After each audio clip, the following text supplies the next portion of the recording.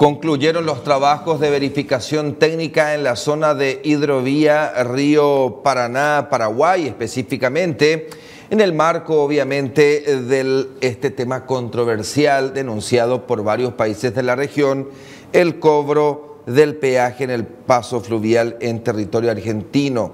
Una imposición unilateral según acusación de las diferentes representaciones diplomáticas.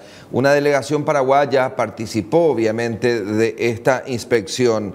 El, director de la Dirección Nacional de Navegación y Puertos, Julio César Vera, dijo que tras eh, una reunión Paraguay podría aceptar el pago del peaje en la hidrovía, lo que sería sin duda un nuevo revés del gobierno eh, para el gobierno de Santiago Peña en menos de 100 días de gobierno. Argentina exige el cobro de una tasa de 1.47 dólares por tonelada de registro neto para embarcaciones con bandera extranjera y 1.47 pesos argentinos para las embarcaciones de su misma nacionalidad con bandera argentina. Hasta ahora la postura de Paraguay es que el pago no corresponde.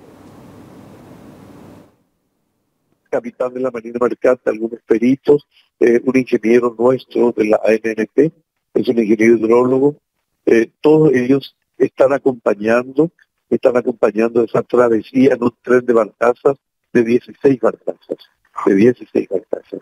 Eh, anoche tenían que pernoctar en un lugar que se llama La Paz y esta mañana tenían que reanudar la navegación hasta el puerto, hasta llegar esta tarde al puerto de Santa Fe.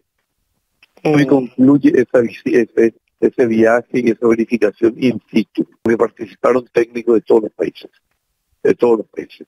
Es decir, eh, Bolivia, Uruguay, Brasil, eh, Paraguay, naturalmente Argentina, que son los anfitriones.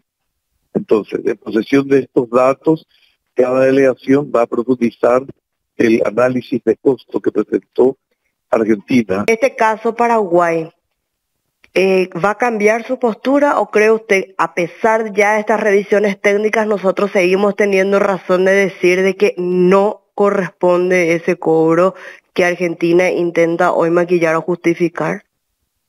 No, la, postura de Paraguay no es una postura caprichosa eh, ni carente de fundamentos.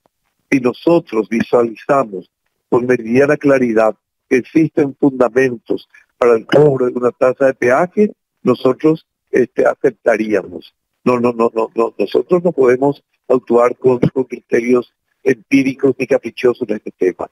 Pero la postura que asuma Paraguay va a ser conteste, va a ser unánime con la postura de, de los otros tres países.